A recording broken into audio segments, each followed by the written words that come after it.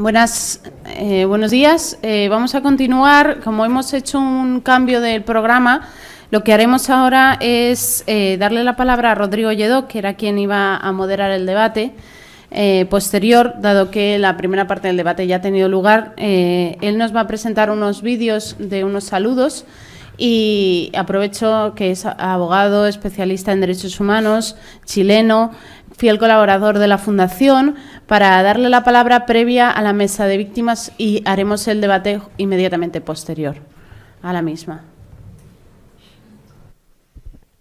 Eh, bueno, muchas gracias. Eh, yo voy a hablar muy poquito. Eh, quiero felicitar a la Fundación Baltasar Garzón por la realización de este evento. Yo como chileno y abogado de derechos humanos en Chile ratifico la importancia que tuvo la detención de Pinochet en Londres y este antes y el después que se, que se habla. ¿no? Y simplemente quiero presentarles eh, unos saludos de las agrupaciones más importantes de Chile, que son la, agrupación de familiares de ejecutados políticos y la agrupación de familiares de detenidos desaparecidos. Hay más, pero estas son las dos nacionales quizá eh, más importantes. Entonces voy a, a proceder aquí a darle clic. Se ve, ¿no? En pantalla, sí. Está.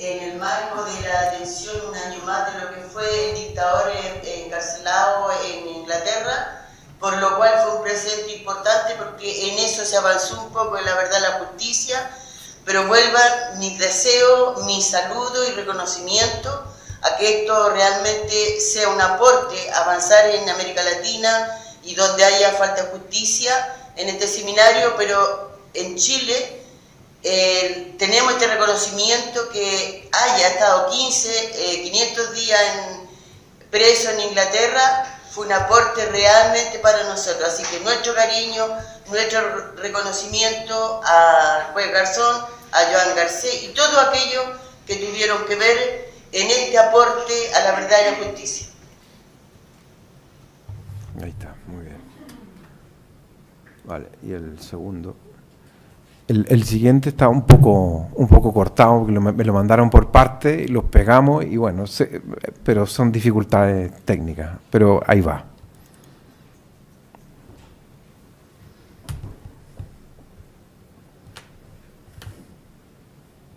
Amigas, querido Baltasar, les desde la sede de la agrupación de familiares de detenidos y detenidas desaparecidas.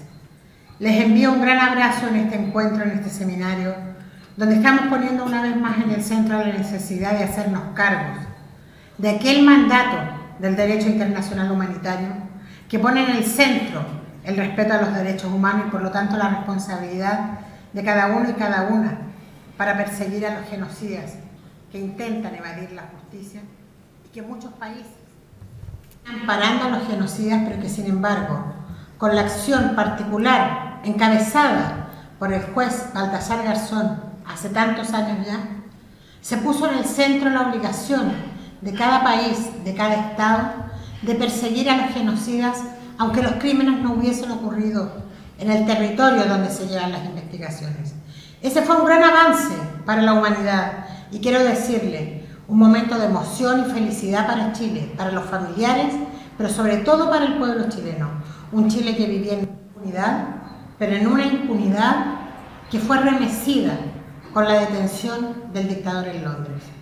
Por eso, para nosotras, fundamentalmente mujeres que hemos dado esta lucha, el juez Baltasar Garzón, pero sobre todo ese juicio contra el dictador, fue un antes y un después para la construcción que pone en el centro el respeto de los derechos humanos en cada país y sobre todo en el nuestro. Todavía batallamos contra la impunidad, pero ya nadie puede negar que Pinochet era un dictador, que fue una tiranía genocídica y que la historia no la pueden tergiversar. Por eso les envío mi saludo a nombre de la agrupación de familiares de detenidos desaparecidos de Chile y el agradecimiento inmenso por haber dado un paso contundente en contra de la impunidad y en contra del genocidio a nivel mundial. Mucho cariño para ustedes.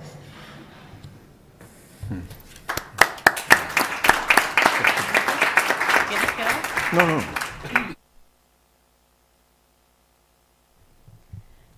Gracias, eh, Rodrigo. Vamos a dar paso a la segunda mesa, que se titula La lucha de las víctimas de crímenes internacionales por la justicia.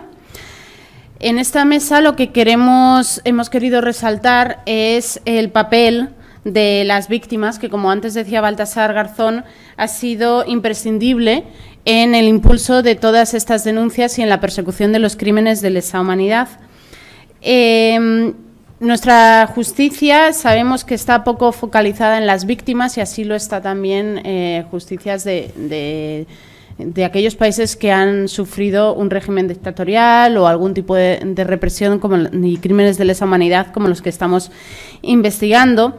Y por, eso nosotros queríamos darle eh, esta visión y que vosotros pudierais escuchar también de, mano directa de, estas víctimas que, como recordamos, son víctimas universales y por lo tanto nos ataña a todos nosotros como, humanidad, eh, su propia experiencia. Mañana se celebra la efeméride del 20 aniversario de la detención de Pinochet, pero también el décimo aniversario de la, em, el auto de admisión a trámite por las, de los crímenes franquistas dictado por Baltasar Garzón. Es por eso que uniendo esta idea de víctimas de crímenes de lesa humanidad, de delitos permanentes y los dos, em, los dos aniversarios, tenemos aquí víctimas de una representación de unos distintos, distintos crímenes o distintos eh, casos de jurisdicción universal llevados aquí en nuestro país y también víctimas de, de, los crímenes franquistas. Luego haré una presentación de cada uno de ellos cuando vayan a hablar, simplemente decir que están conmigo Oscar Soto, que tuvo que exiliarse de la dictadura chilena en 1973. Está también David Couso, hermano de José Couso, asesinado por el ejército estadounidense, periodista, como sabemos, durante la guerra de Irak en abril del 2003. Está Thupten Wanchen, eh, que tuvo que exiliarse con, su padre y sus hermanos cuando solo tenía cuatro años tras la invasión de China al Tíbet y de que su madre fuera fusilada que está conmigo Florentina Rodríguez, nieta desaparecida en noviembre del 36, y María Bueno, víctima de desaparición forzada de menores, por eh, a, quien desaparecieron a su hija en septiembre del 81. Como veis, eh, un gran eh, espectro de tiempo. lo primero que les voy a hacer que, que me digan por el día que es, eh, es a cada uno de ellos que le voy a pedir que inicien su intervención simplemente diciendo si recuerdan cómo fue el día de la detención de Pinochet, si se enteraron, si no, dónde estaban, y a partir de ahí ya que nos den una visión eh, desde cada uno de ellos, desde su caso concreto, de cómo ha sido el acceso a la justicia que han tenido, las dificultades, cómo han impactado las reformas legales en sus casos específicos y cuáles son las expectativas que tienen ahora mismo con la posible reforma de la jurisdicción universal en España. Yo simplemente, por terminar la introducción, deciros que eh, en el momento de la detención de Pinochet yo estaba fuera de España, pero que curiosamente el caso Pinochet eh, fue la primera vez que yo trabajé con, con mi padre en el proceso posterior, que fue el de la extradición. ¿no? Eso, como hemos dicho, eh, duró este proceso duró un año y medio aproximadamente, y yo en octubre del 99 que ya estaba, había vuelto de Estados Unidos en julio del, del 99, estuve traduciendo para él en la noche, eh, que era uno de los motivos por los que llegaban las cosas a tiempo, ¿no? estábamos de alguna manera conchavados entre los funcionarios del juzgado, eh, él mismo y yo en, allí con 16 años traduciéndole, para eso me sirvió mis 11 meses viviendo en Estados Unidos, traduciéndole extraoficialmente lo que llegaba, lo que llegaba de Londres. Así que, eh, sin nada más, voy a dar paso a la primera persona, que es Oscar Soto. Eh, Oscar Soto Guzmán nació en Chile eh, médico y cardiólogo de la Universidad de Chile y de la Universidad Complutense de Madrid. Salió de su país como exiliado en 1973. En España ha ejercido su profesión en la Clínica Ruber de Madrid y en el Hospital General de Segovia. Eh, fue médico de cabecera del presidente Salvador Allende, le acompañó hasta su muerte en el Palacio de la Moneda de Santiago de Chile y es autor del libro Un día de Salvador Allende, editado en el 98 y reeditado en 2008. Su última publicación en Silex es Allende en el recuerdo. Y me decía Óscar que va a hablar muy de su mm, vivencia personal, dado que Marcia eh, esta mañana ha hecho un amplio recorrido a todo lo que fue históricamente eh, esos momentos. Así que doy la palabra a Óscar.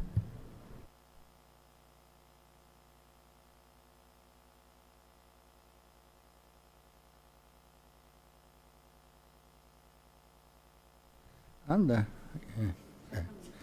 Ya, gracias. Muchas gracias por haberme invitado a este, estupenda jornada. Yo, la verdad es que la medicina tiene algunas connotaciones de tipo legal, de hecho, algo, algo de leyes se estudia en la medicina, en la medicina, pero el, el espectáculo de cinco magníficos juristas, periodistas, y sociólogos que tuvimos hoy día en la mañana aquí, en la primera, la primera mesa, ha sido para mí un, sensacional porque he aprendido un montón de cosas y me he dado cuenta del, valor que tiene eh, la, la, justicia universal y lo importante es que hagamos todo lo posible por, por mantenerla.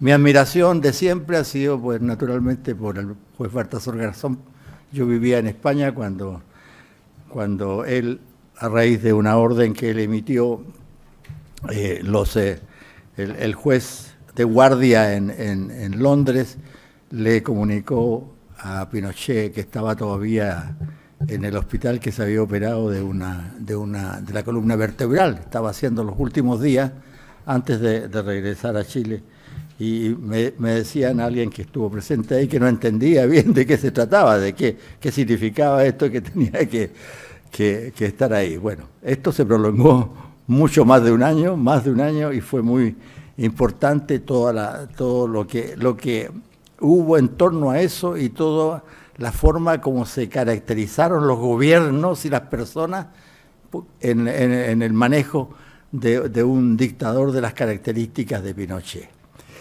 Eh, para, en sentido positivo y en sentido negativo.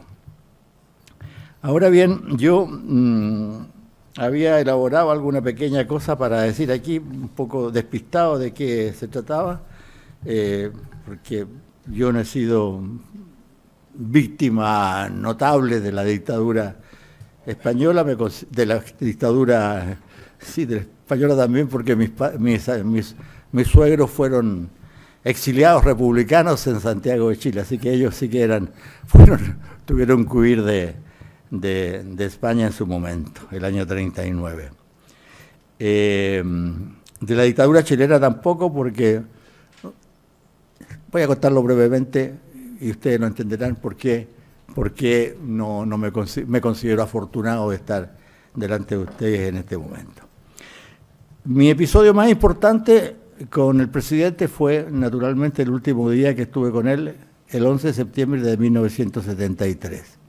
Yo lo conocía, como casi todos los chilenos conocían a Salvador Allende desde hace muchos años, porque es un hombre de un gran contacto con la gente popular, cualquiera que fuera su, sus características económicas o sociales. Él tenía una afabilidad amistosa muy, muy de mucha cercanía.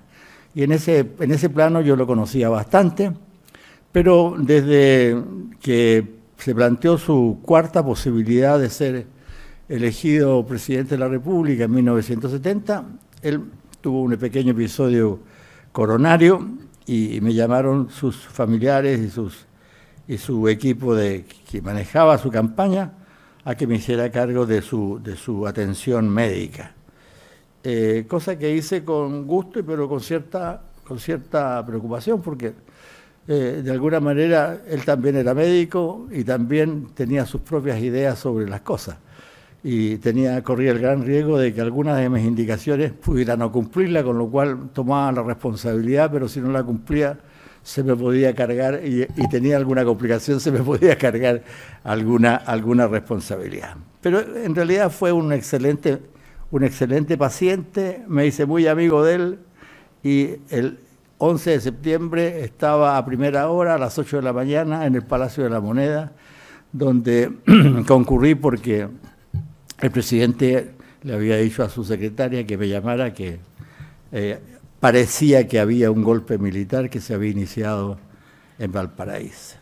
Estuve toda la mañana, toda la mañana en la moneda, eh, hasta las 14 horas más o menos, en que el presidente, en un pequeño escritorio que tenía en la segunda planta, se, había, se retiró y se suicidó con un, con un disparo debajo de la mandíbula. Eh, Después ya entraron los militares y se hicieron cargo de toda, de toda la situación. Eh, durante todo ese periodo el esfuerzo de los militares era tomar el, tomar el palacio. El palacio estaba defendido por 60, defendido entre comillas por 64 civiles, entre los cuales eh, incluyo al presidente Allende, porque el presidente Allende también usó sus armas, o sea, usó una metralleta y usó una bazuca y disparó desde la segunda planta contra las fuerzas militares que no eran despreciables. Para 64 personas, los militares acumularon 2.500 militares de, esos que andan de a pie, al mando de un general y al mando de un teniente coronel. El general era eh, Javier Palacio y el coronel Julio Canesa. Juntaron tres o cuatro tanques frente al Palacio de la Moneda y desde ahí, desde cerca de las nueve comenzaron a disparar eh, disparos, con, eh, disparos de, tanque contra el, contra el Palacio de la Moneda, que felizmente y gracias a la construcción colonial española eran enormemente resistentes de una muralla firme y sólida que no que resistieron, excepto las puertas donde naturalmente no había muralla, eh, que fueron derribadas. Pero la, la solidez del, palacio se mantuvo por, lo que habían eh, la calidad del, constructor Toesca, italiano, pero hecho durante la, durante la colonia española en Chile, eh, tenían de, fortaleza. además de, los, de estas fuerzas que les he enumerado un poco, a mediados de, a mediados de, la, de la mañana, a las 12, 5 para las 12 más o menos, salieron unos, unos, unos Hawker Hunter, unos aviones supersónicos que venían desde Concepción, 600 kilómetros al norte, donde reportaban y, lanzaron en, sucesivas oleadas una cantidad que yo no recuerdo más o menos de cuántos misiles la incendiaron y la destruyeron. Pero desde un punto de vista personal y en general de la mayor parte de los que estábamos ahí, no nos hirieron, no, no, no, no, no, tuvimos bajas por esa razón ahí, porque ellos dispararon en el centro del edificio, que era un edificio que, tiene una manzana entera por, todos los cuartos. De manera que nosotros estábamos en un lado, desde donde, de donde se combatían contra los contra los militares y, la verdad es que eso fue poco, poco efectivo desde el punto de vista de provocar nuestro rendimiento, nuestra rendición, perdón. Eh, después lanzaron, pues sacaron unos, unos eh, eh, ¿cómo se llama? estos avioncillos giratorios, digamos, y lanzaron, lanzaron diferentes sustancias sobre nosotros, que fundamentalmente nos impedía un poco respirar y nos dolía la cabeza y llorábamos pues, espontáneamente por la cosa y que estaba destinado a eso mismo. Alrededor, de las 2 de la tarde los militares entraron, tomaron posesión de la, moneda. Yo, a esa hora, eh, a las 2 de la tarde, el presidente, cinco minutos antes de que entrara, se había suicidado y también eh, se había suicidado antes, una hora y media o dos horas antes, el, em, el director de la televisión, de la televisión chilena, el, periodista eh, Augusto Olivares. Bueno, el, resultado fue que a todos nos sacaron, como aparecen en las fotos de, ese, combate, a la, calle, nos, pusieron ahí primero de pie con las manos atrás y posteriormente en el suelo, todos alineados así, acostados y alineados, boca abajo, hasta que el, el, comandante, el, general Palacio comenzó a hacer algunas elecciones ahí. A los médicos que estábamos ahí, de alguna manera, mm, por diferentes situaciones que no quiero comentar porque son muy largas de, explicar, ¿eh? nos dejó al lado, nos pidió el documento de identidad, carnet de identidad se llama en Chile, y, nos apartó y, y otras personas que, dos mujeres que, había, que se quedaron hasta el final, a pesar de que el presidente Allende le había dicho que, salieran, fueron llevadas a la, a la asistencia pública y a la asistencia pública en una ambulancia y las dos con la colaboración de los médicos y del personal de la asistencia pública se escaparon. Eh, otro, otro miembro también del, del, servicio de seguridad del presidente, llamado GAP, eh, presentó unos dolores abdominales, qué sé yo, eh, se dijo que tenía un abdomen agudo, una apendicitis, y también lo llevaron a la, a la a la asistencia pública central de Chile, que queda a unas seis, cuadras del palacio, y ese también, en vista de que mm, iban a llegar posteriormente la gente del golpe a, todos estos lugares a buscarlos, eh, se escapó, se refugió la embajada cubana, y, perdón, en la embajada mexicana, y salió de Chile sin problema el, el sábado 15 el sábado que corresponde a esa semana del martes 11. Bueno, eh, el resto, desgraciadamente, fueron primeras, las primeras víctimas de los métodos y de la forma como, como se, presentaba, se presentó desde el comienzo de la dictadura.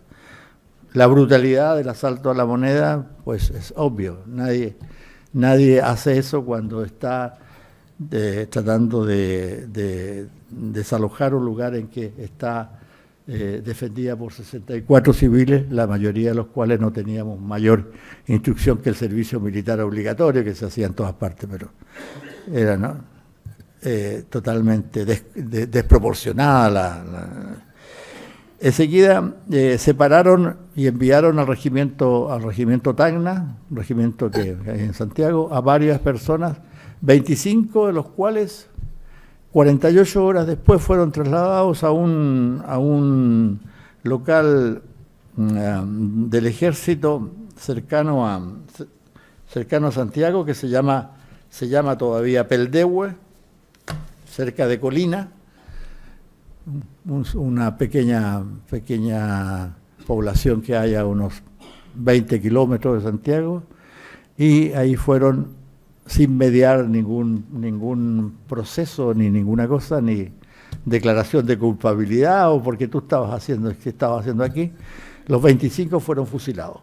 Los 25 fueron fusilados al borde de una de una de una lugar que se les había obligado a, acabar ellos y fueron lanzados en esa en ese lugar y fueron después sus cuerpos destrozados con con eh, eh, metralleta y granada. O sea, los cuerpos casi desaparecieron, pero en todo caso se transformaron en pequeñas, en pequeñas cosas. Esto es importante porque la, reconstitución de, estas cosas ha sido muy difícil después para los cuando ha llegado un poco, un poco de, de justicia y se ha podido exhumar esa gente y entregarle a sus familiares para que logras entenderla. Hay, hay, familiares que lo único que han logrado enterrar hasta ahora ha sido un hueso de, un hueso, un hueso de la, un meñique de la mano o del pie y nada más, todo lo demás. Porque el año, como mencionó Marcia, la presidenta de la, de la Fundación Salvador Allende, el año 78, Pinochet dictó un decreto en el cual todos los todos los delitos, entre comillas, eh, que habían ocurrido entre el 11 de septiembre y el, marzo del 78 quedaban eh, sin ninguna pena y sin ninguna... Entonces, eh, para cumplir esto que ya había observadores internacionales que estaban preocupados de estas cosas, había algunos, algunos pequeños cementerios, digamos, en diferentes lugares, en la noche los, eh, eh, militares, eh, los aviadores, recogieron en sacos los lugares de las tumbas estas, una de las cuales era esta de, de Peldehue, los metieron los restos que ellos lograron sacar en la noche, meterlos y lanzarlos al mar. Así que entre eso y lo que quedó olvidado así en esas tumbas, porque después otros jueces también hicieron procuraron, digamos, recorrer, eh, recuperar restos, eh, lograron muy, muy pocas cosas. Bueno, eh, esto es un poco, un poco lo que yo quería contarle. Yo, me parece a mí que tiene, tenía importancia en el sentido de que este fue el, el primer gran episodio de la eh, pérdida definitiva durante 19 años de la democracia en Chile y el establecimiento de una dictadura cuyas características son oprobiosas, porque en esa dictadura hubo muchas personas que fueron eliminadas sin ningún juicio, o sea, eliminadas por voluntad personal del militar correspondiente. Hay varios casos, la caravana de la muerte, etcétera, etcétera. Em, hay, muchos, hay todavía muchos desaparecidos. O sea, hay gente que sabe que desaparecieron y no saben dónde están, sus familiares no saben dónde están. Eh, hubo dos, dos, intentos de, de hacer más, más que nada una enumeración un poquito burocrática de las cosas que fue el informe RETIC, que se hizo durante el primer gobierno de, Elwin, en la cual se contabilizaron, mm, se contabilizaron 3.527 muertes, de las cuales un porcentaje, un porcentaje muy alto es de personas que están desaparecidas. Eh, después se hizo en tiempo del, presidente Lago una comisión, la comisión de, la tortura, la comisión Valech, para ver cuántos chilenos habían sido torturados. Y 28.000 declararon haber sido y, aceptado por los criterios de la comisión torturados.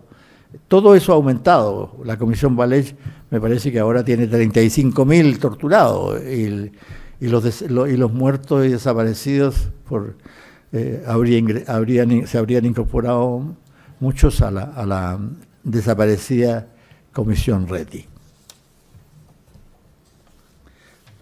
Los exiliados, fue, el, exilio chileno fue, fue masivo. Se calcula que por lo menos fue masivo en el sentido de que por lo menos unos 200.000 salieron en los primeros meses. Después se calculó que había llegado incorporándose aquellas personas que no podían vivir por falta de trabajo, etcétera, llegar a unos 800.000, a Europa, a los países vecinos, Argentina, por razones de comodidad, etcétera, etcétera. En Chile, ya lo dijo Marcia, desde el, 11 de septiembre o del día siguiente no hubo justicia.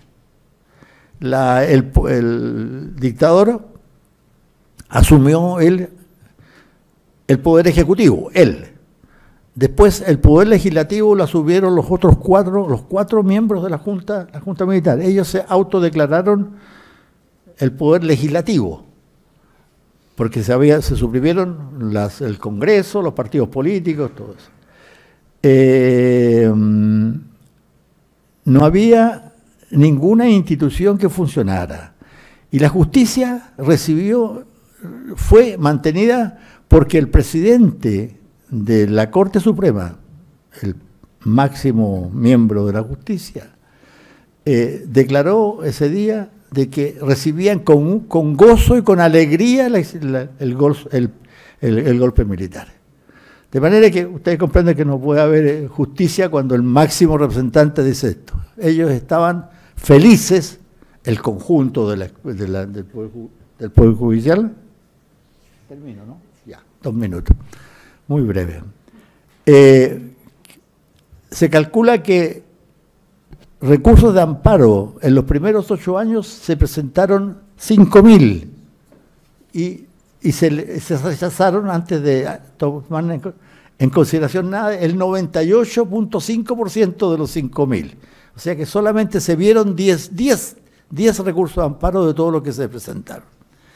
Bueno, el asunto naturalmente comenzó a modificarse a partir de de la detención de Pinochet y de todo lo que es el golpe que eso significó para la, para la en primer lugar, para, para los jueces y cómo pudieron los jueces, digamos que tenían, tenían una conciencia distinta, hacer algunas cosas. Y algunos jueces fue, se destacaron eh, con una, con una eh, posición y actitud muy distinta, como fue eh, el el, juez Juan, Guzmán, por ejemplo, que algunos, algunos procesos los... El año 2011 se formó, la, Corte Suprema designó un, juez dedicado solamente a los casos que no tenían ninguna respuesta clara. Y que, el, el, juez, Mario Carroza, desde ese momento, desde hace ya varios años, está trabajando exclusivamente en eso. O sea, buscando los desaparecidos, estudiando las causas, etcétera, etcétera. O sea, la, justicia ha mejorado, pero no existe una justicia que podamos decir, mire, aquí se va a hacer justicia. No, porque lo que se conversaba en la mañana en Chile es muy claro. No puede haber reconocimiento a la justicia cuando los mandamases, los jefes de los partidos políticos, la gente que, con los poderes, como se dice ahora, los poderes fácticos, incluido la iglesia. La iglesia ahora se ha dedicado, como es, como es hábito ya ahora, a, la pedofilia. Ya, ya no tiene respeto la, la, iglesia, pero mientras la tuvo también fue en gran medida partidaria de, de una justicia que no existía. De manera que se ha mejorado y yo quiero decir que nosotros, en ese sentido, como país, le debemos mucho al juez Garzón y a todos que estuvieron comprometidos. Y tiene, el juez Garzón, permítame que se los diga, porque yo he vivido ya muchos años aquí en España, tiene más prestigio entre la gente chilena que a lo mejor entre los españoles, donde tiene muchos enemigos, y él lo sabe. Tiene muchos enemigos envidiosos y, que están siempre preparados para atacarlo por distintos... Nosotros los chilenos, pues lo estimamos, lo apreciamos y sabemos que es un juez como deben ser los jueces. Magnífico. Gracias. Muchas gracias. Voy a dar paso al segundo ponente de la mesa, David Couso. David Couso, Permuy es portavoz de la Asociación de Hermanos, Amigos y Compañeros de José Couso.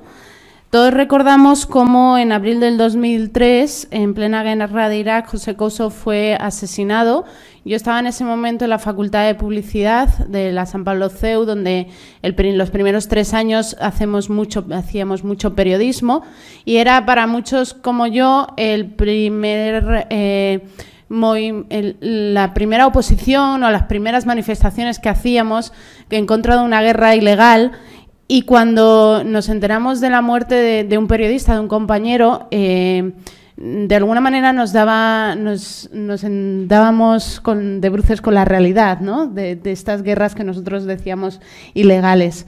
A día de hoy, em, eh, David es militante por la justicia, la verdad y la reparación, es bombero de profesión y está cursando el grado de RR2, que no sé qué es, Relaciones Internacionales, en la Universidad eh, La Huberta de Cataluña.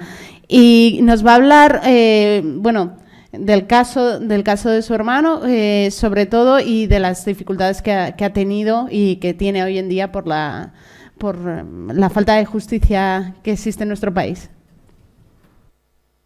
Hola, buenos días eh, a todos y a todas. Eh, gracias, María, por la presentación.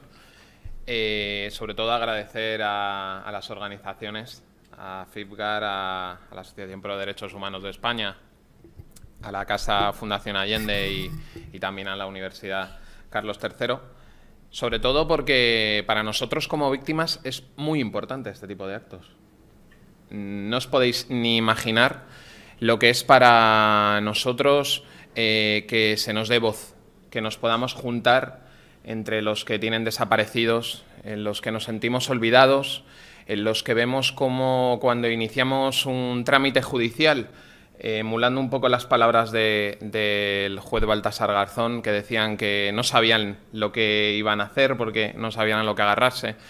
Nosotros nos sentimos un poco así, porque, claro, yo por aquel entonces, cuando hace 20 años veo cómo se nos vende esa imagen ¿no? de un señor mayor, pobrecito, que ve en una silla de ruedas.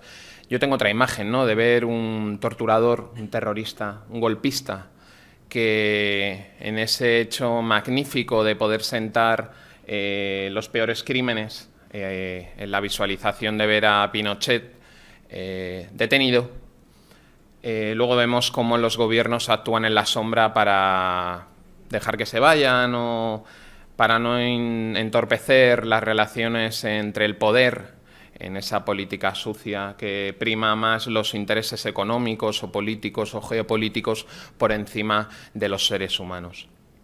Yo creo que a día de hoy defender la justicia es un acto revolucionario, mucho más que defender los derechos humanos. Y os voy a explicar por qué. Porque claro, sin justicia no podemos defender los derechos humanos.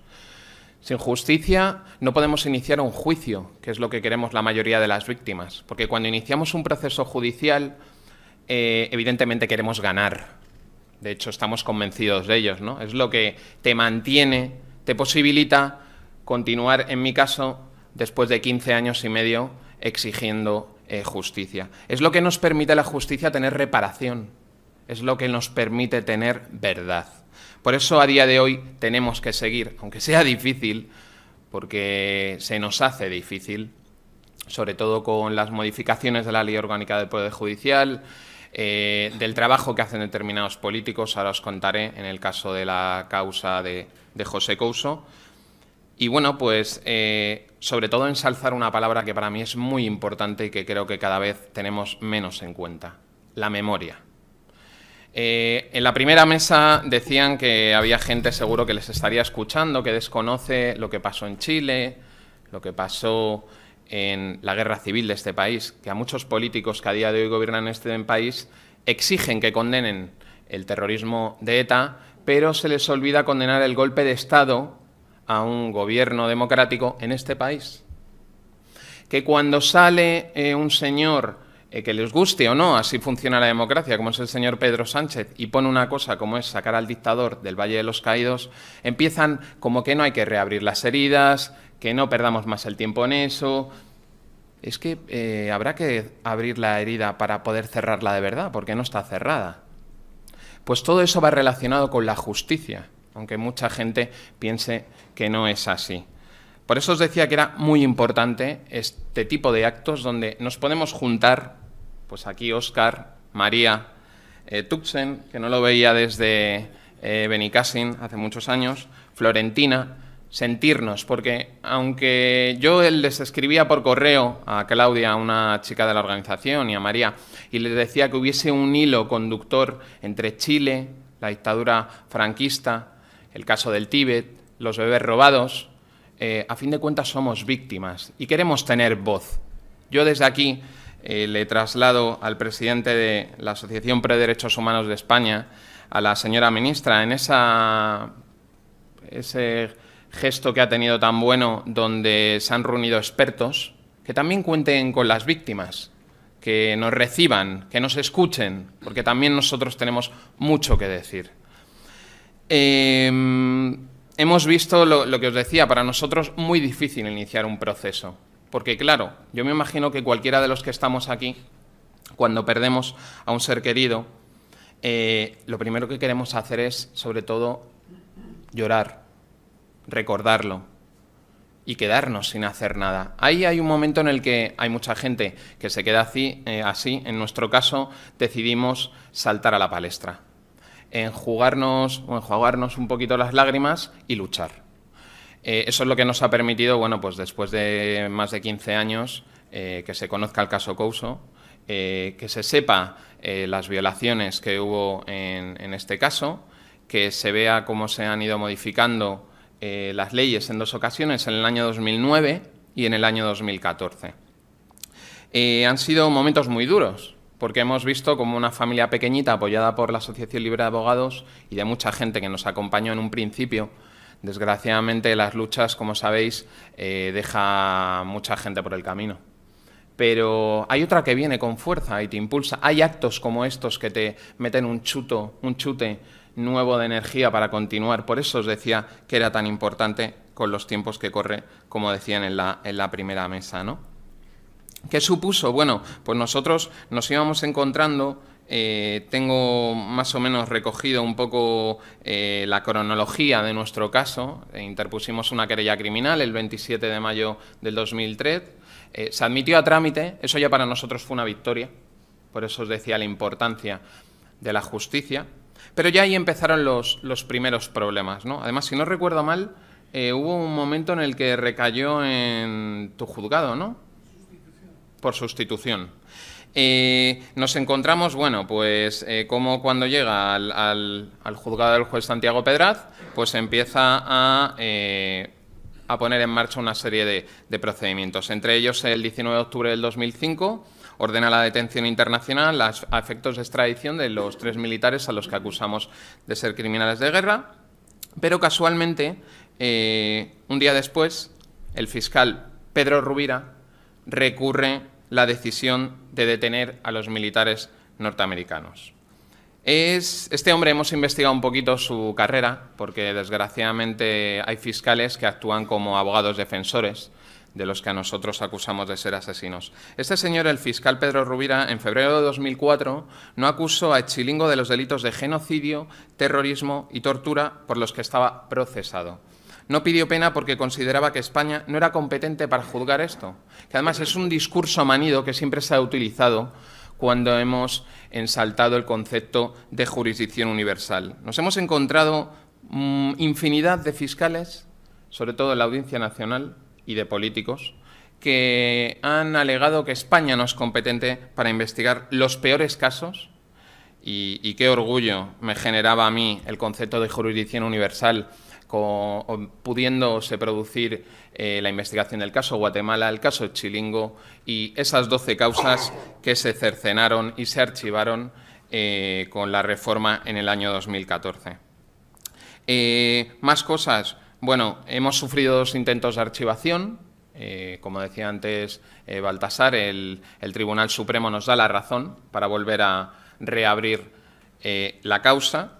Nos hemos encontrado eh, como por primera vez en el curso de la historia Interpol, esa policía internacional, se negaba a cursar una orden de búsqueda y captura que había dictado el juez Santiago Pedraz. Solo tenía efectos en territorio europeo, donde actuaba la policía, lo que sería en Fopol, en Europa y lanzaban un mensaje de que no nos enfrentáramos contra los soldados del ejército de los Estados Unidos. Hemos sufrido presiones, eh, había cosas que no nos cuadraban eh, a lo largo del caso José Couso.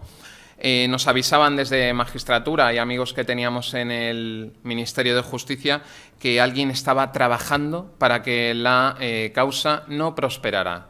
Eh, a raíz de la filtración de los cables de Wikileaks en el año 2010, pudimos saber cómo eh, una vicepresidenta primera del Gobierno, el fiscal general, el fiscal en jefe de la Audiencia Nacional y varios ministros recibían órdenes desde la Embajada de los Estados Unidos para torpedear, para ralentizar y para zancadillear la causa de José Couso.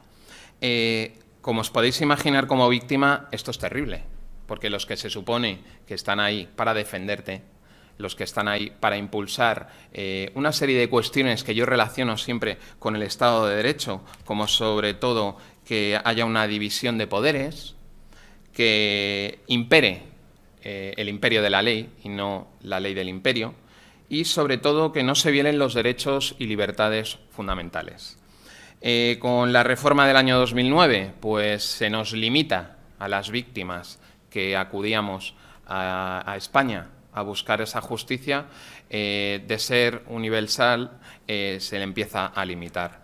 En el año 2014, eh, de manos del Partido Popular, pues se cercena totalmente, se hace desaparecer, cada vez se le ponen más limitaciones.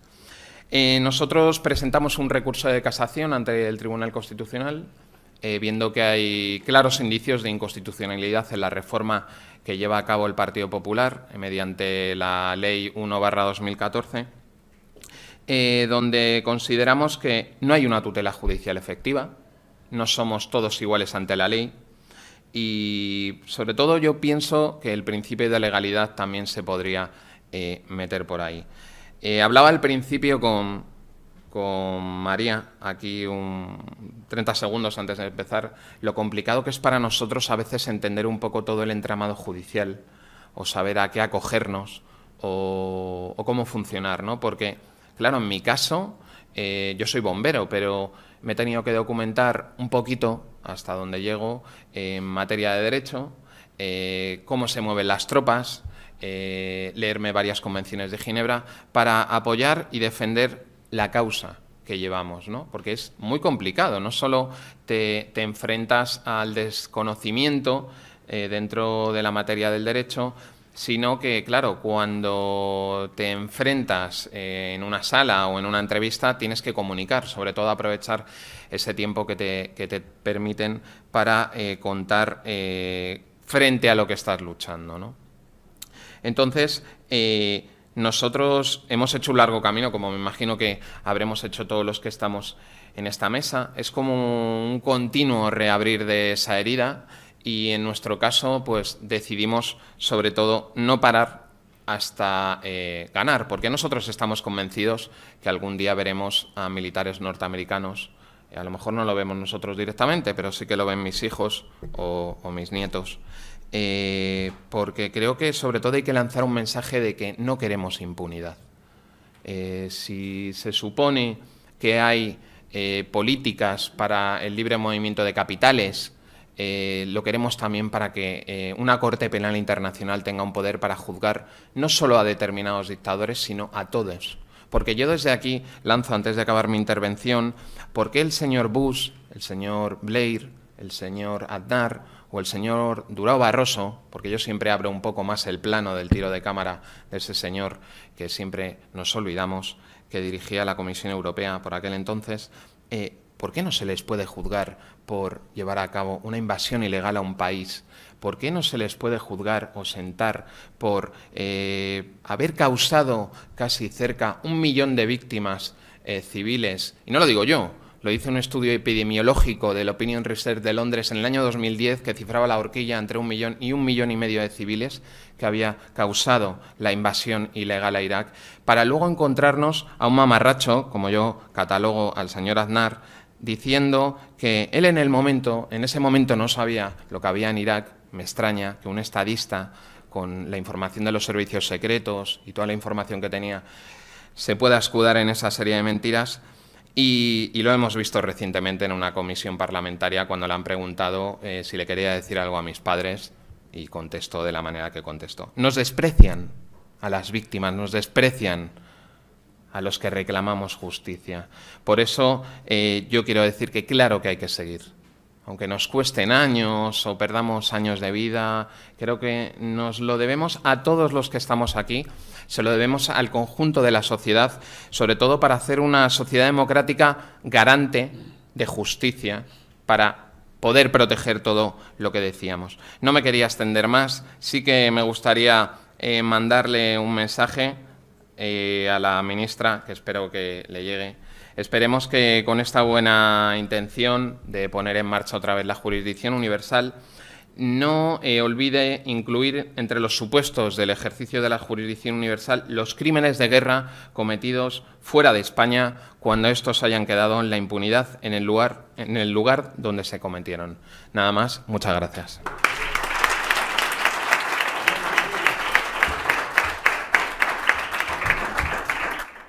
Muchas gracias, David, por tu intervención. Eh, hablaba David de verdad, justicia y reparación. Bueno, están las garantías de no repetición y una muestra de que si no existe verdad, justicia y reparación, no hay garantías de no repetición. Lo vemos en que a lo largo de muchos años se siguen cometiendo este tipo de crímenes. Así que es imprescindible que, se pongan en marcha estos mecanismos del, derecho internacional. Decía hace poco Fabián Salvioli, nuevo relator para la verdad, la justicia y la reparación, que el derecho no falta, lo que falta es la voluntad política. O sea, el derecho tiene los mecanismos. Y la voluntad política se ve truncada también en el caso, como en el caso de José, en el caso Tíbet. Ahí vemos claramente cómo la voluntad política tuvo mucho que ver eh, en, las dos reformas de la jurisdicción universal. Tuften Wanchen es monje budista, representante del Tíbet en España y miembro del Parlamento tibetano en el exilio. Nació en Qigong, en 1954 y tuvo que exiliarse a Katmandú tras la invasión China, eh, de, la invasión china del Tíbet. A los siete años eh, ingresó en un monasterio budista atraído por la espiritualidad de dicha religión y entre otros ha vivido en el monasterio de Namgyal, donde convivió durante 11 años con el Dalai Lama, Tetsin Gyatso. Es complicado, ¿eh? Viajó por primera vez a España en 1981, acompañando al Dalai Lama y organizando diversas conferencias y seminarios sobre la cultura y la historia tibetana. Y en 1994 fundó la Casa del Tíbet en Barcelona y en el 98 obtuvo la nacionalidad española, algo importante eh, en su caso eh, y en la causa. En 2005 presentó una denuncia por el genocidio del Tíbet a manos de China y en los hechos se describe la situación que ha venido padeciendo el pueblo tibetano desde que en 1950 se, eh, se produjo el ya citado crimen de agresión y consecuente ocupación militar del país, algo que se mantiene en la actualidad.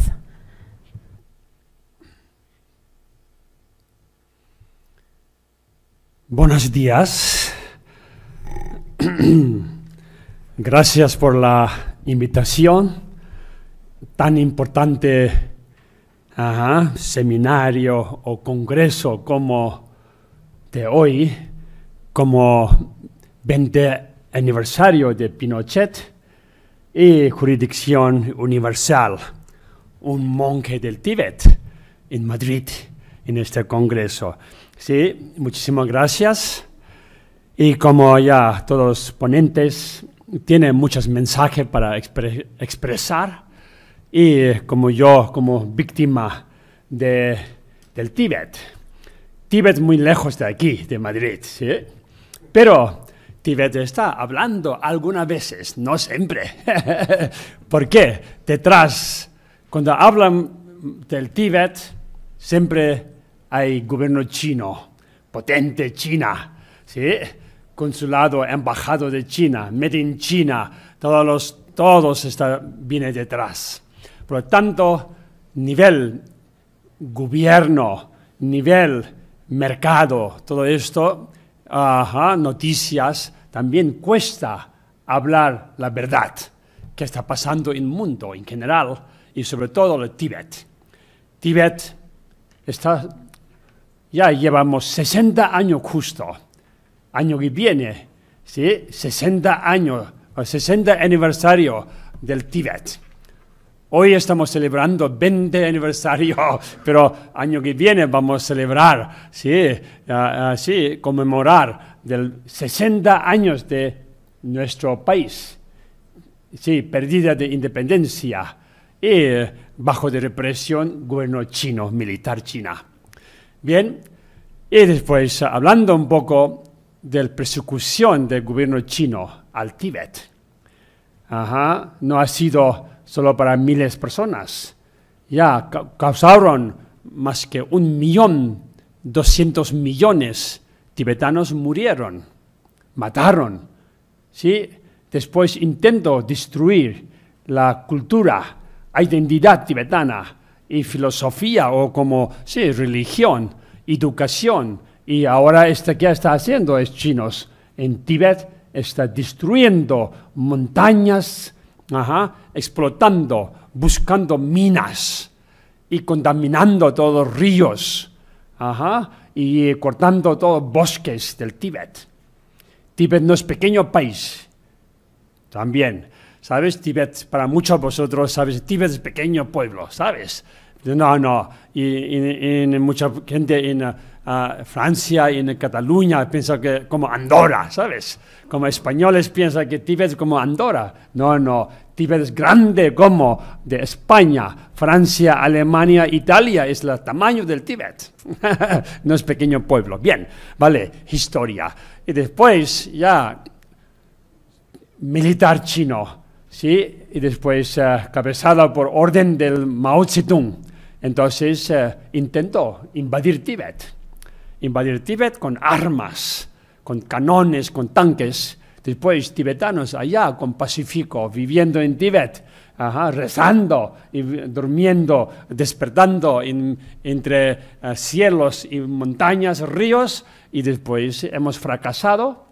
Y después, consecuencia de esto, gobierno chino, no voy a hablar mucho, porque ya, intento hasta ahora, ¿verdad? Que no paró destruir intentó máximo posible del desaparezca la identidad tibetana en el mundo, ¿sabes? Pero, desgraciadamente, Dalai Lama ha podido escapar del Tíbet y su mensaje, su presencia de Dalai Lama mundialmente ajá, está llegando mensaje de paz y después, sí, representando el Tíbet en toda parte del mundo. No tanto como chinos, ¿sabes? sí, somos solo 6 millones tibetanos que están sufriendo en Tíbet. Y somos ya casi ajá, 150 mil, 150 mil tibetanos refugiados en, mundialmente. En Madrid mismo hay ocho tibetanos, vive, ocho tibetanos. Yo vivo en Barcelona. Esta mañana cogí AVE para estar este importante congreso. Y después somos muy pocos, 110 tibetanos en España. ¿Sí? ¿Y cuántos chinos? Ya pues sabes. en España, ¿sabes? Sí, cuántos restaurantes, cuántos mercados. Ya China está invadiendo realidad, no con tanques, armas, China está invadiendo mundialmente con su mercado, con sus restaurantes y sus, uh, no sé, uh, uh, sí, integración económicamente al mundialmente. China manda a España incluso. Hablando un poco de casos, sí, Pinochet no está conocido dentro del Tíbet. Ningún tibetano conoce el Tíbet porque no se habla allá. Pero tibetanos exiliados, nosotros conocemos Pinochet. En Chile, Chile, ¿qué pasó? ¿Qué has hecho? Dictadura, Pinochet como Mao Zedong. ¿sí? Y después, eh, sabiendo nuestro querido ¿sí? Baltasar Garzón, como llevando a Pinochet y sabiendo esto, tenido mucho éxito, tenido Baltasar Garzón, y llevo hasta el final. Y después de esto, sabiendo, y hemos pensado, uy, ¿por qué no Juez Garzón puede llevar al Tíbet, caso a China? Eso hemos aprendido de Pinochet, entonces hemos pedido, acercado al juez Garzón, de verdad que, ¿qué pasa? ¿Qué posibilidades hay? ¿Sí? Madrid hay comité apoyo a Tíbet.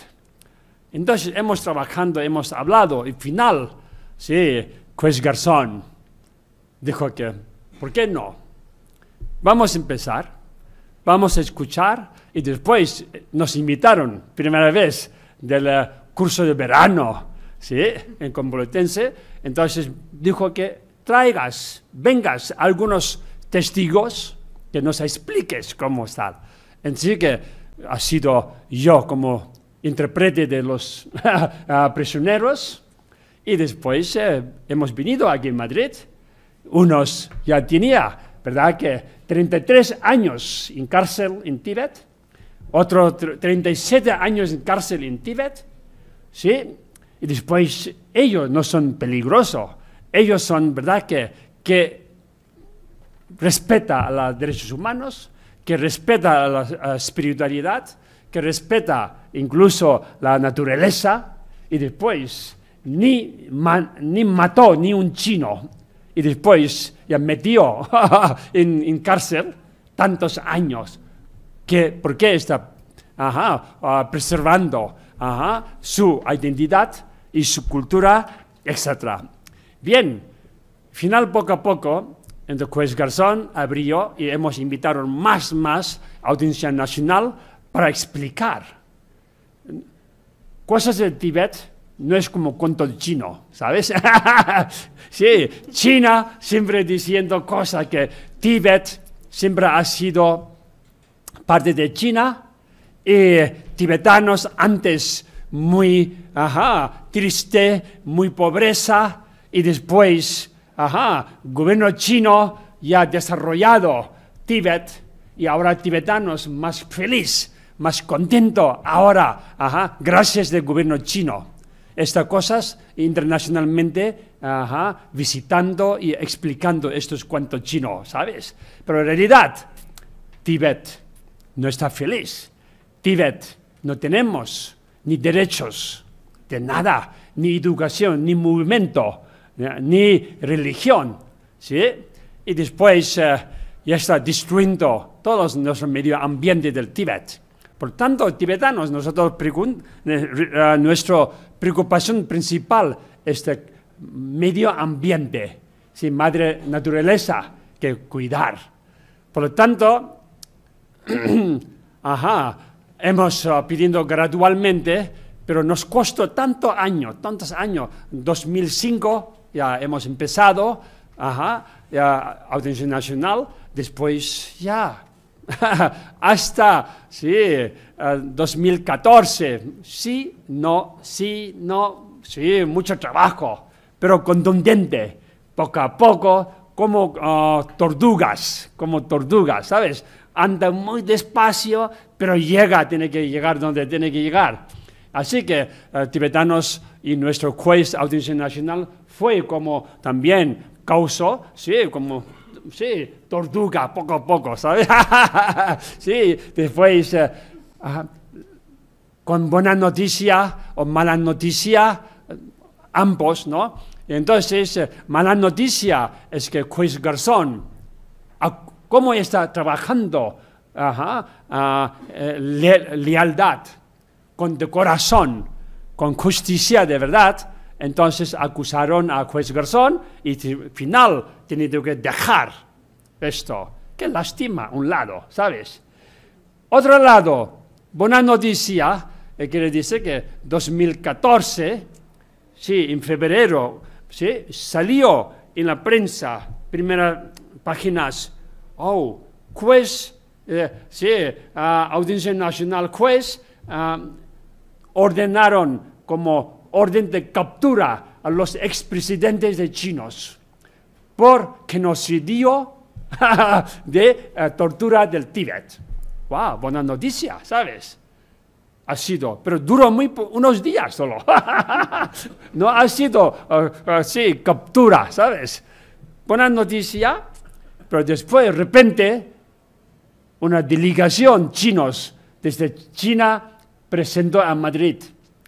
Y con, con ajá, de verdad que, con, con, fuerza, ajá, con señor Rajoy eh, llamando y reunión, varias reuniones, reuniones con los ministerios, ¿sí?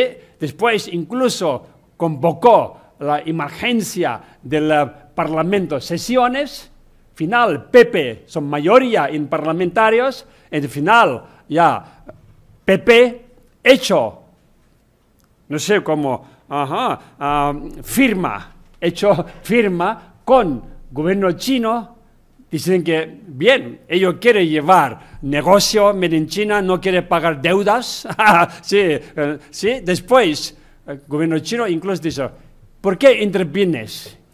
Es internos. Problemas del Tíbet de China es internos, problemas. ¿Por qué vosotros hace caso del Tíbet? Vosotros tienen muchos problemas con País Vasco y Cataluña quiere eh, independencia. ¿Por qué no trabaja esto? ¿Y por qué metes al Tíbet? Entonces, si quieres meter, entonces vamos a hablar sobre deudas de España. Y Rajoy, por supuesto, ha tenido miedo y no puede pagar deudas y final, pacto, con, firmo con uh, chinos y después, ya verdad que habló en los parlamentos, yo estaba allá, yo intentó, ajá, intenté hablar allá un momento, unos minutos, pero no me dejó, pero estoy, estaba allá oyendo, ¿sabes? Y, pero al final, uh, señor Rajoy de Pepe, gobierno, aquel momento, entonces uh, cambió jurisdicción universal con dinero de China. ¿Sí? Entonces, la, esa, qué pena. Un lado, qué pena, es importante, es la, todo el mundo necesitamos vivir en, ajá, con, con, con, la, con la verdad, con la paz, con, ajá, uh, con jurisdicciones de leyes, ¿no? Y después final, ahora que está mandando es la dinero, ¿sí? Dinero manda, dinero manda y después la, nadie preocupa sobre derechos humanos y el sufrimiento, invasión sí, de un país a otro país, nadie habla. Existe ONU, existen muchas organizaciones, pero primero es el dinero. Después olvida. Bien, Tíbet, así que yo mismo, como representando como víctima, ajá, entonces, ¿por qué? Antes también habló, sí, cuando tenía solo cuatro o cinco años los chinos invadieron, incluso mi madre incluso ha sido víctima y mató a los chinos, y yo mismo, desde 5, 6, 7 años, entonces mendigando en Nepal, en calles, en India, durmiendo en las calles, yo mismo. Final, que nosotros, ¿verdad? gracias al gobierno indio, ajá, nos recogieron de calles y nos llevaron a escuelas, porque uh, Dalai Lama mismo ha dicho que niños de ahora en calles que están durmiendo, mendigando, son futuro del Tíbet. Educación es importante. Por suerte he tenido una pequeña educación, ¿sí? gracias a Dalai Lama y gobierno indio. Y final, ahora yo tengo que volver, devolver uh, gratitud al, a India y sobre todo a Tíbet, hablar mi voz y representando 6 millones de tibetanos, la, ¿qué está pasando en Tíbet? Ahora mismo está lleno de monjes, monjas, en Tíbet, en cárcel. Hasta hoy, desde Juegos Olimpiadas China hasta este año de febrero, 152 tibetanos autoinmolaron. 152 hermanos tibetanos, pero nadie habló, todo silencio, ningún país hablando sobre este tema. Autoinmolación en Tíbet. Ellos no autoinmulando, estamos contentos con el gobierno chino, no. Ellos autoinmulando que Tíbet no tiene derechos, Tíbet no tiene libertad. Ajá. Por lo tanto, por favor, respeta el medio ambiente de Tíbet. Este cambio de clima está pasando. Y después, ajá, queremos que vuelva Dalai Lama. 60 años casi eh, refugiado. No, nosotros, Dalai Lama es Tíbet. Queremos que vuelva Dalai Lama a Tíbet. Estos son sus uh, intereses principales. Y final, ajá, todavía nadie habla, nadie está escuchando, excepto ya uh, juez Garzón, que, ¿verdad?, que nos ha agradecido, todos los tibetanos, ajá, sabemos, sabemos, hay un juez en España que habló, sí, sin miedo, sin miedo a nadie. Y después, a través de esto, el mundo ya sabe uh, más sobre la realidad del Tíbet. Y bien, así que finalizando esto, Dalai Lama nos dice siempre, no tenga rincor, odio a los chinos. ¿Sí? Son nuestros hermanos. Entonces queremos dialogar con China. Mejor para los chinos, mejor para los tibetanos. Diálogo es importante. No queremos separar de China. No queremos. Unión es la fuerza del Tíbet. Queremos volver a Tíbet con autonomía de verdad. Con China vivir con más nuestro, respetando nuestro, preservando nuestra identidad tibetana y cuidando nuestras montañas de Tíbet y nuestros ríos del Tíbet. Ese es la, nuestro ajá, interés. Así que nada, otra vez gracias a todos, sobre todo, sí, Baltasar Garzón, su hija María y toda la fundación, todos los abogados, abogadas y después todos los uh, ponentes, amigos. Muchísimas gracias.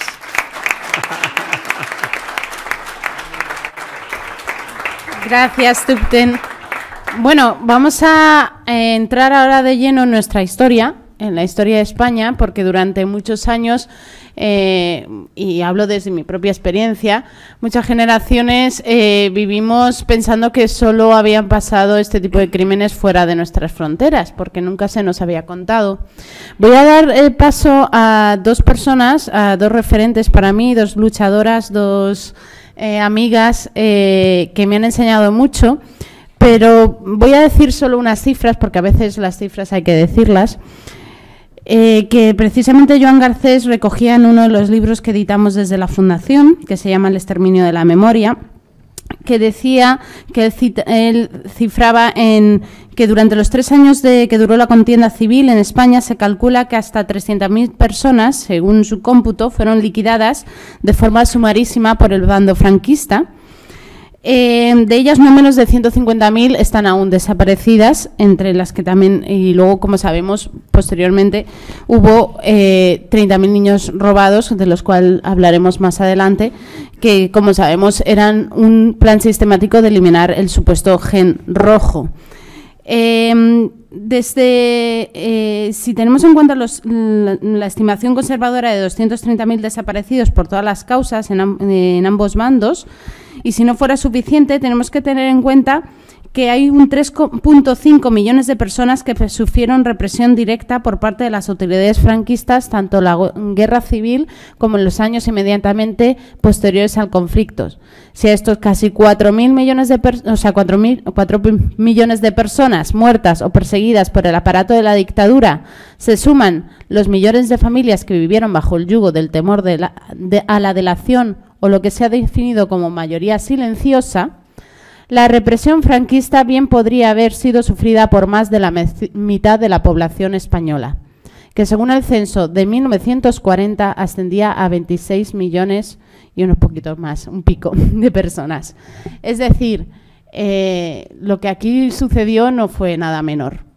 Y por eso hemos querido incluir en el 20 aniversario de Pinochet y también en el décimo aniversario del auto de eh, competencia de Baltasar Garzón en el que se eh, que dictó que era competente para la investigación de estos crímenes a Florentina Rodríguez Borrego, nieta de Ana Ricarda Cobacho Cañete, maestra de Jauja, Córdoba, secuestrada y desaparecida en noviembre de 1936. Flori, como yo la conozco, es una firme activista del movimiento memorialista y eh, defiende el derecho imprescriptible de conocer la verdad por la parte de los familiares. Y como ella me decía muchas veces, hasta ahora pocas víctimas han tenido la palabra y han sido el foco de las políticas y de la acción de la justicia. Y ella me ha enseñado que hay que darle la palabra a las víctimas. Con ella he trabajado mucho desde la Fundación y le agradezco mucho que esté aquí y sin más le voy a dar la palabra. Muchas, gracias, María. También tengo que agradecer a todos los que estáis aquí con la hora que es, eh, está esperando eh, que intervenamos. Eh, también quiero agradecer a la Fundación Baltasar Garzón y a los que han organizado el evento este, sobre todo a la Fundación, y lo digo porque ha tenido siempre el respaldo las víctimas de la Fundación Baltasar Garzón. En la misma ley de memoria democrática de Andalucía, el que se haya sacado adelante la Comisión de la Verdad, eh, ha sido gracias a la colaboración y al apoyo de la Fundación Baltasar Garzón, porque los políticos, he de decirlo aquí, no estaban por la labor, porque consideraban que meternos en ese jardín era empezar a tocar la, tema, la cuestión de un tema judicial, porque lo que se intenta bajo todos los medios en España, todas las de memoria que han salido de ámbito autonómico, es evitar bajo toda costa que vayan a parar a vía judicial, es decir, que tengamos tutela judicial efectiva. Para mí eso es la cosa más grave que le ha pasado a las víctimas en pleno siglo XXI. Cuando mi abuela es asesinada y además detenida por la Guardia Civil, ella tenía 36 años y se dedicaba en, los centros obreros a dar clases y, a escribir cartas a los familiares que tenían que cartearse o averiguarle la, la jornada de trabajo que tenía. Mi abuela es detenida, ella, su madre y su hermana la rapan, le dan aceite de resino y las pasean por el pueblo. Quiero decir con esto que no fueron con mi abuela, fue sistemáticamente además sobre las mujeres, porque sobre el tema de las mujeres se hizo un, fue una violencia de género, era había que ridiculizarla, había que de hecho ni las consideraban políticas, ni las consideraban que ellas estuvieran metidas en política, para ellas eran individuas de dudosa moral que había que quitarla del medio, ¿no? Es decir, no podían decidir.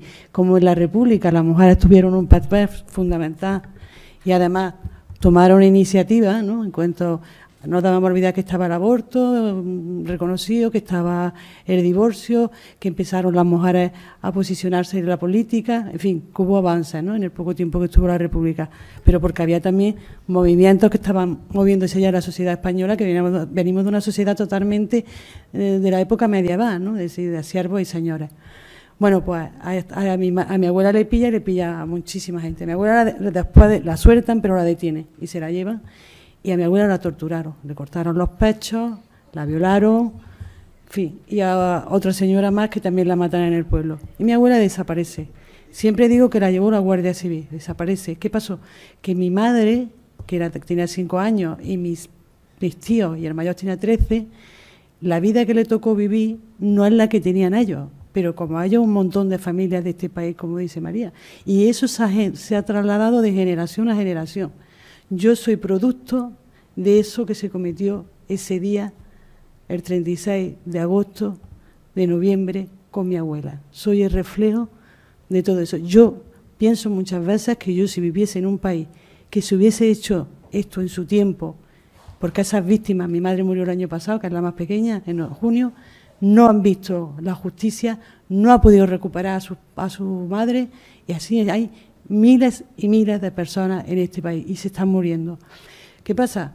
Que eh, aquí ha habido una ruptura con el franquismo, no, para nada.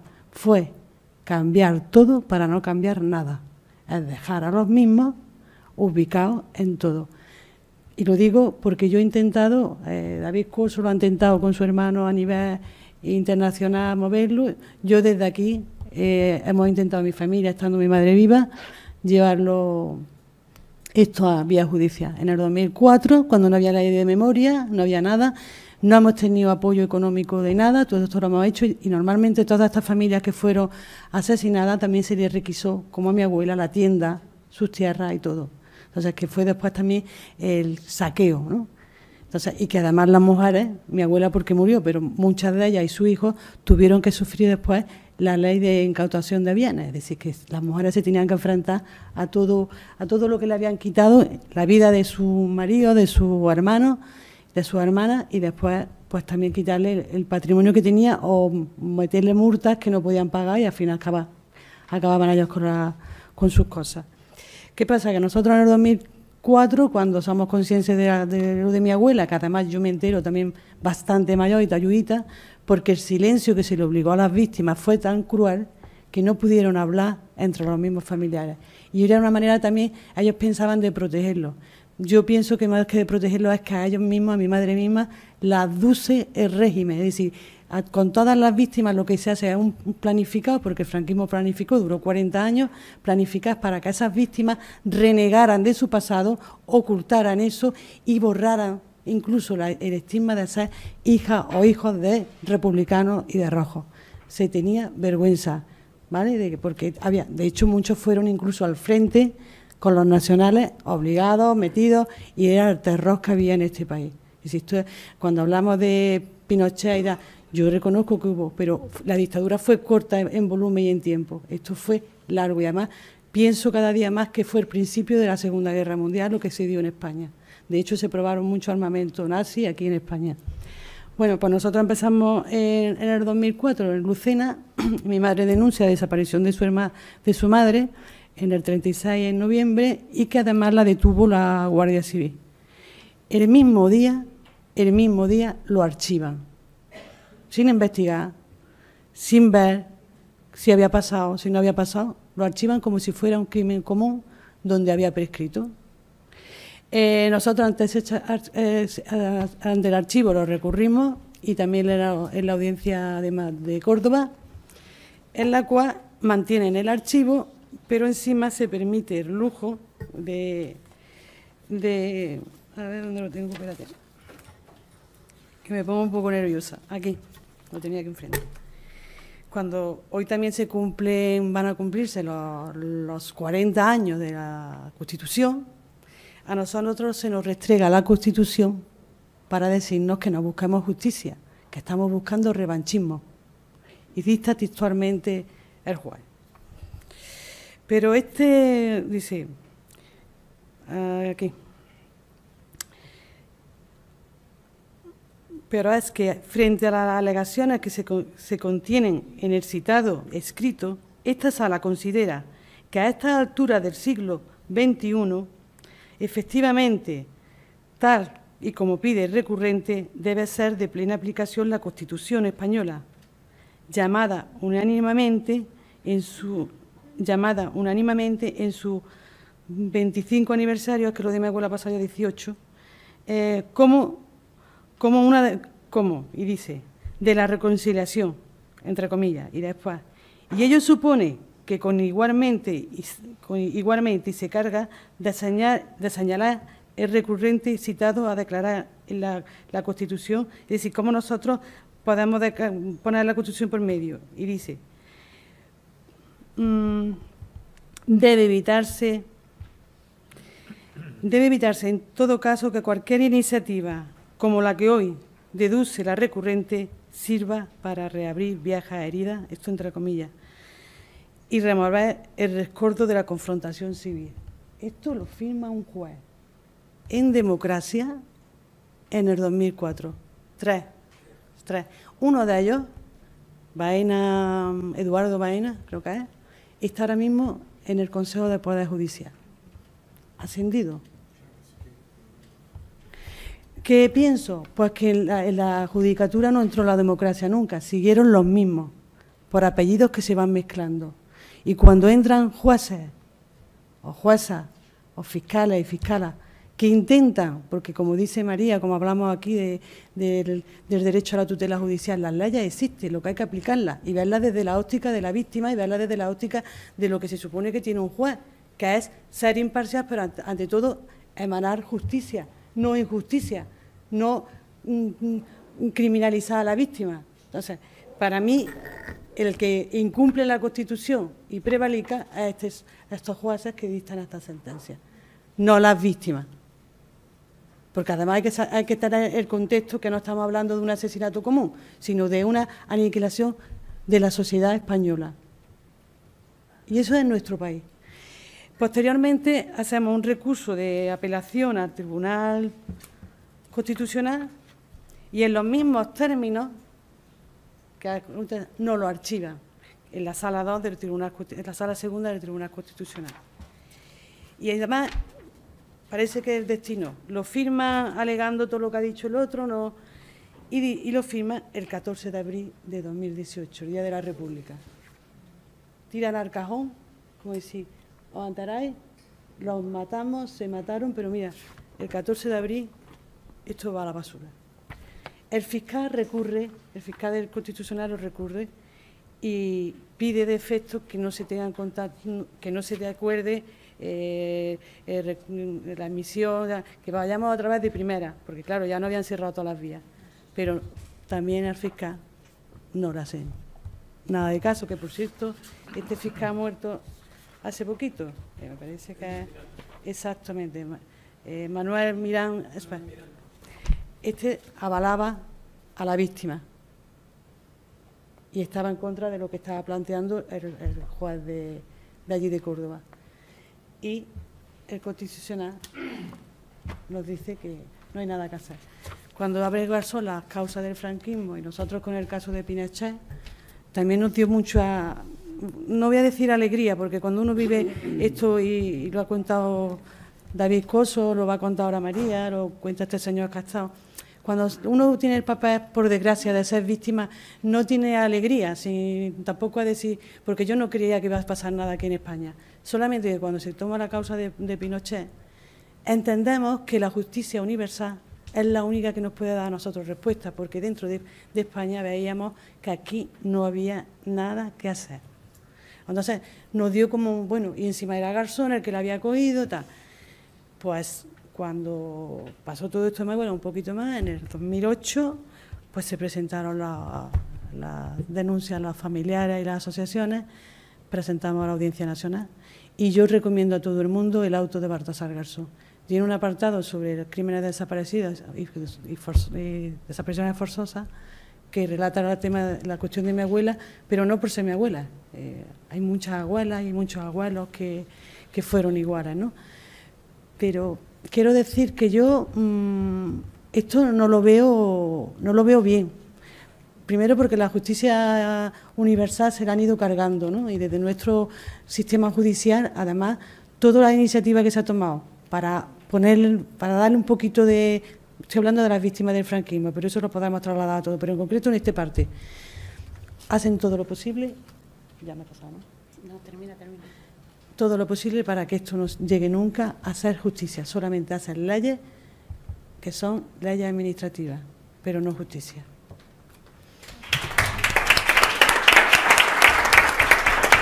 Muchas gracias, Flori. Nos queda solo una ponente, así que agradeceros que, que estéis aguantando hasta el final.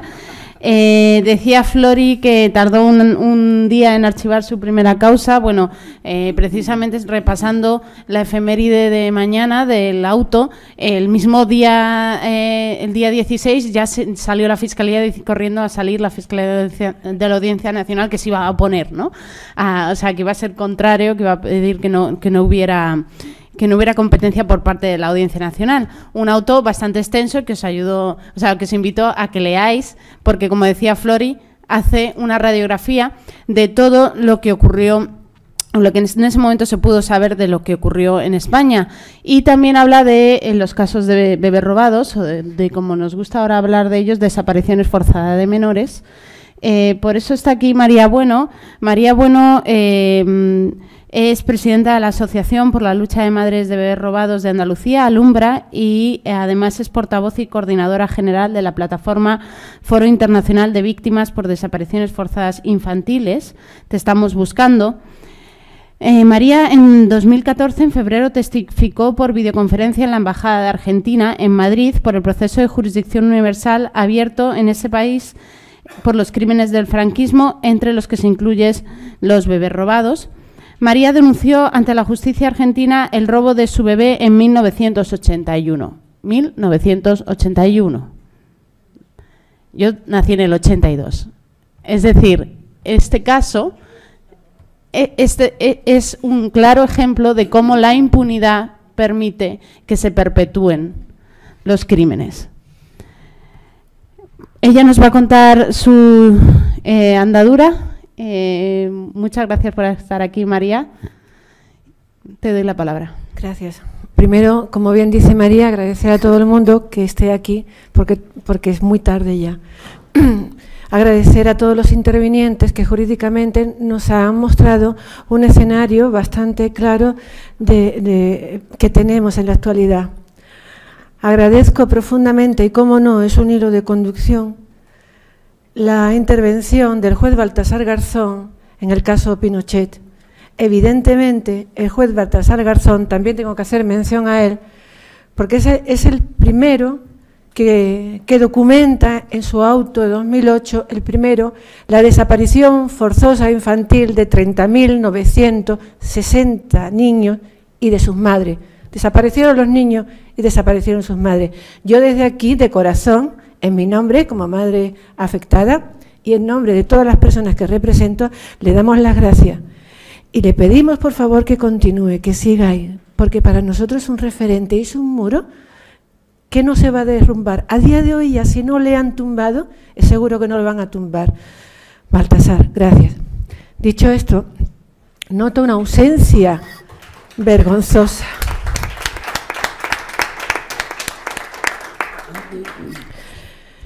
Noto una ausencia vergonzosa en todos los escenarios de crímenes cometidos contra los seres humanos, en todos los escenarios y países cuya dictadura, cuya dictadura ha eliminado, ha eliminado de la historia contada y escrita a las mujeres. Ha eliminado de la historia contada y escrita a los niños. El silencio de los niños de Chile sigue exactamente igual que hace, que hace 20 años, que hace 30 años. En la década de los 80, en Chile, desaparecieron miles de niños. A las madres solteras se lo quitaban porque había que preservar la honorabilidad de la familia y la honra. A las, a las mujeres pobres y más humildes le quitaban a sus hijos sin más, no importaba. Esa parte de la sociedad era insignificante.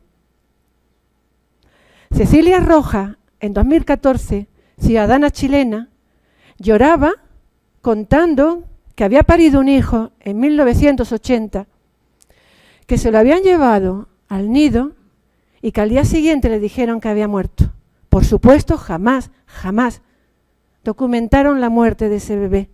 Hay miles de mujeres en Chile que buscan a sus hijos, que desesperadamente se hacen sus perfiles de ADN para procesarlos y enviarlos a bancos internacionales, porque los niños salieron a muchos otros países, regalados, vendidos, por influencia de, todo, de toda la política dictatorial de Chile. A día de hoy hay delitos vivos de ciudadanos chilenos que tienen identidades falsas viviendo en Chile, en Estados Unidos, en países de Europa y en los cinco continentes.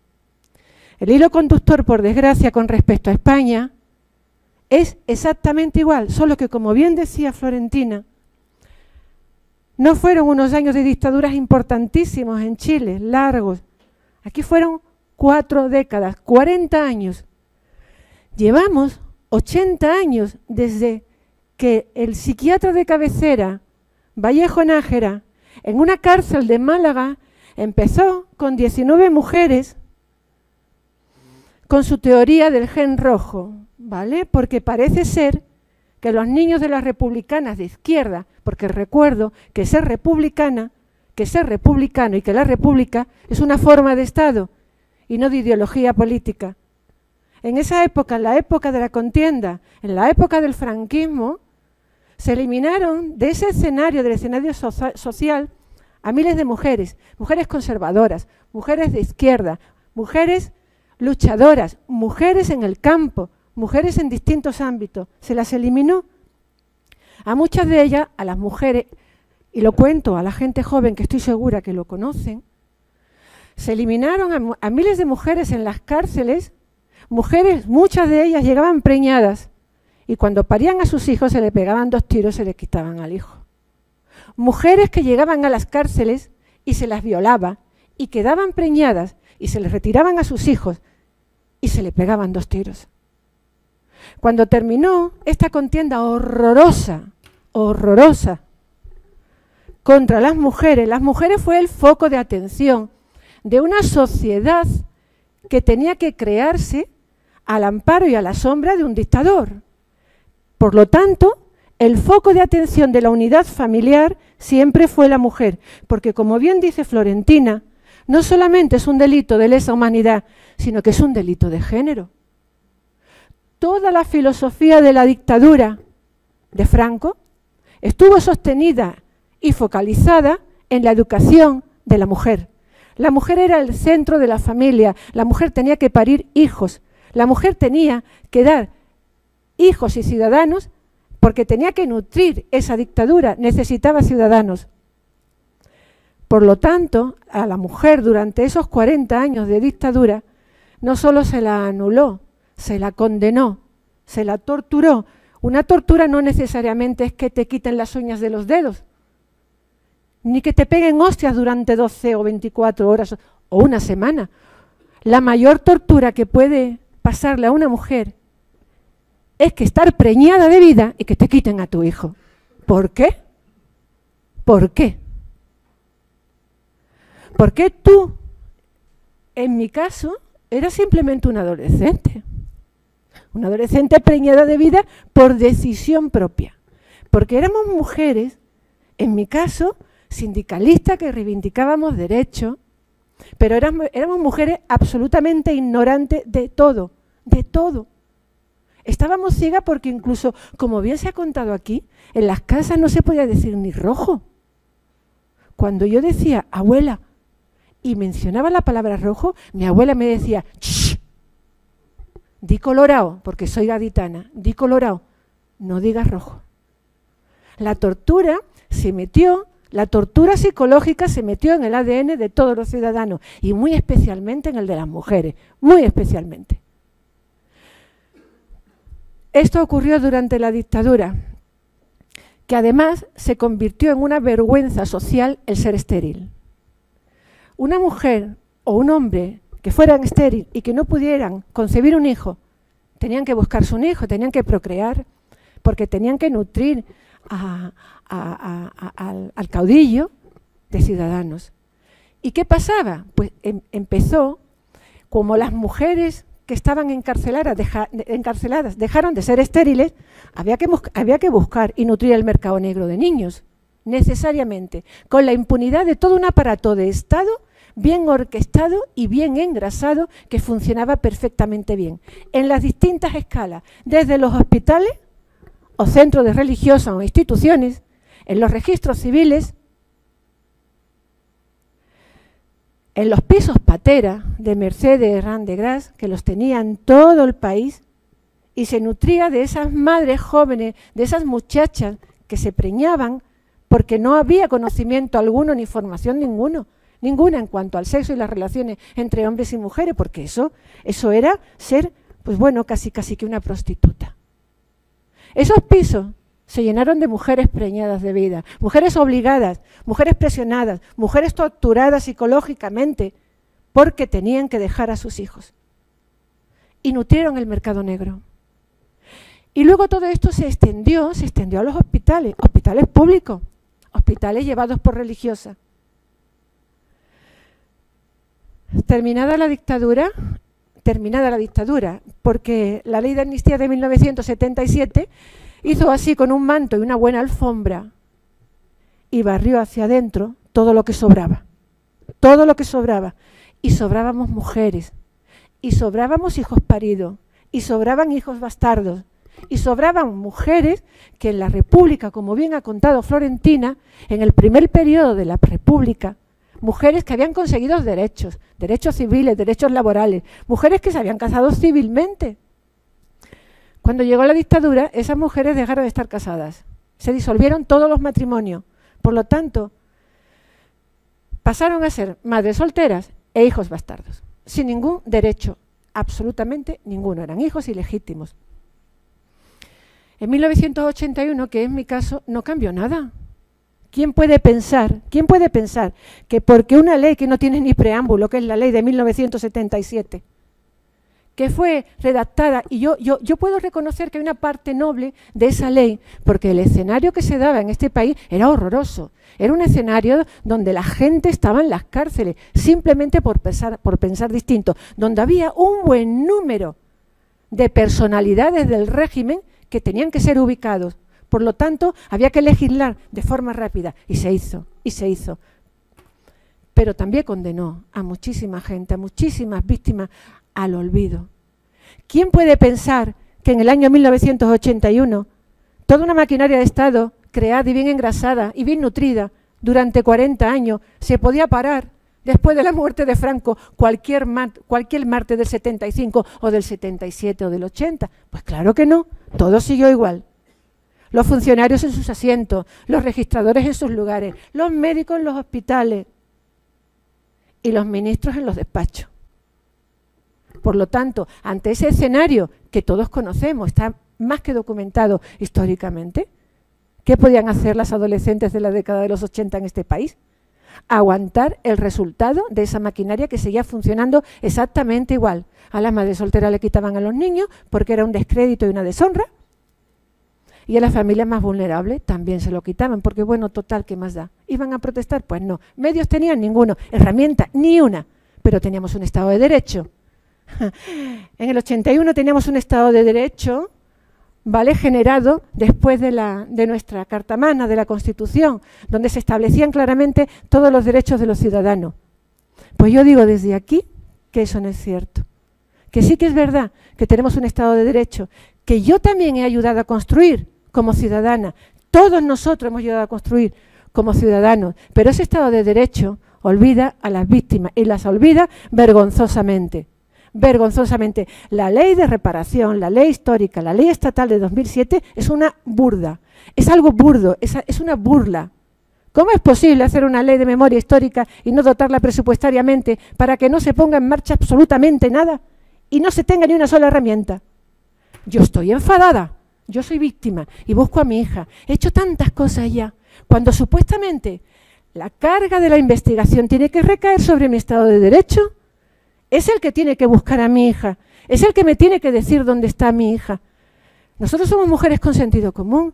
Hace 10 años, cerca de una década ya, cuando iniciamos todo este movimiento, madres que éramos víctimas por la desaparición forzada de nuestros hijos, que acabábamos de descubrir que nuestros hijos no estaban en los cementerios, se llegó a decir de nosotros que éramos unas mujeres que estábamos locas y que estábamos afectadas, como también ha apuntado Florentina, en autos judiciales por una psicosis generalizada provocada por los medios de comunicación. Yo no estoy loca. Yo puedo ser mejor, peor, puedo gustar o no gustar. Pero yo he acreditado con documentación la desaparición de mi hija. Yo, al igual que muchísimas madres, tenemos certificados de defunción emitidos por la Administración Pública de esos hospitales públicos donde parimos. Yo una noche buena del año 81 entré en un hospital tutelado por el propio ayuntamiento un hospital municipal llevado por las monjas de la caridad. Y yo entré preñada de vida a los nueve meses y me dijeron que mi hija había muerto al día siguiente. Una monja llegó a mi habitación con un niño Jesús de porcelana el día de Navidad, porque era el, día del niño Jesús, y me dijeron, bésalo que él te va a consolar. Yo me gustan las personas, creo en las buenas personas.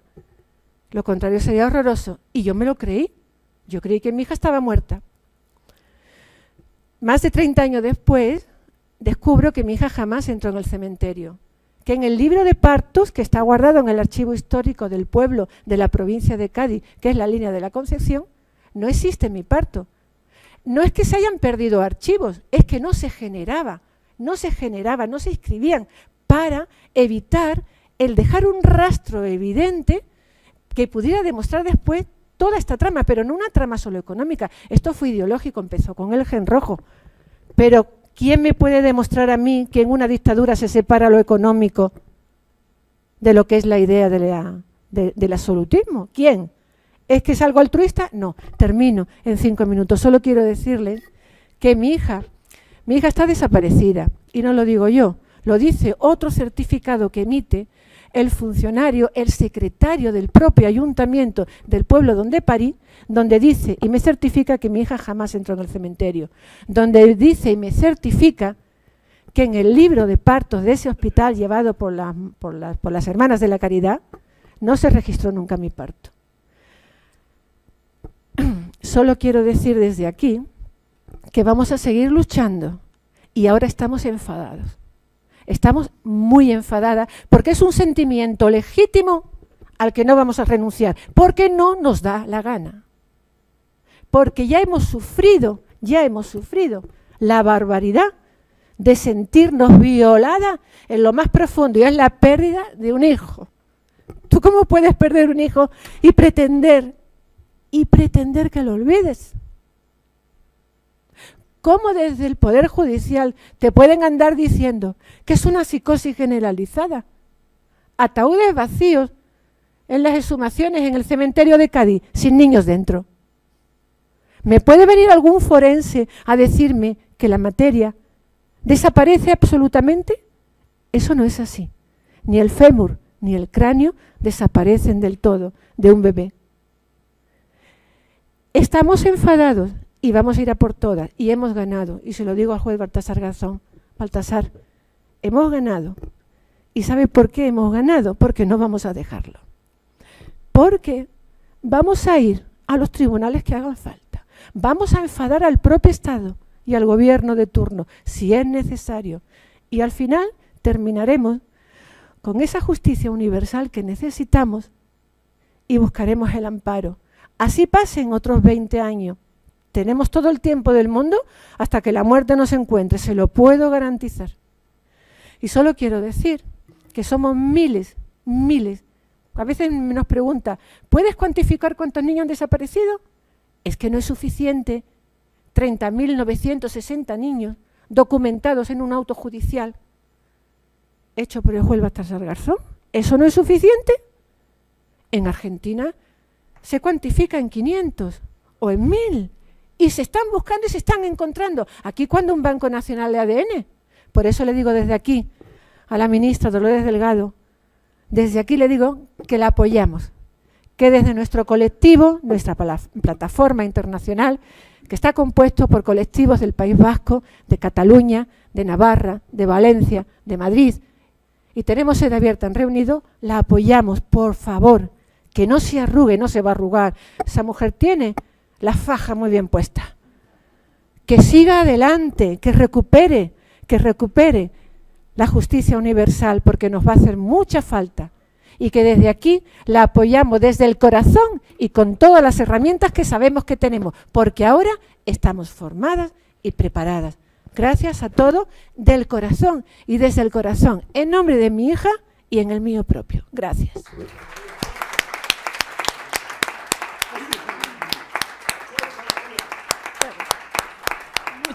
Muchas, gracias. Muchas gracias. Vamos a dar por concluida la mesa. Si queréis hablar con los ponentes no hay ningún problema, pero son las 3 de la tarde. Y además, María, yo creo que poco más se puede decir. Muchas gracias.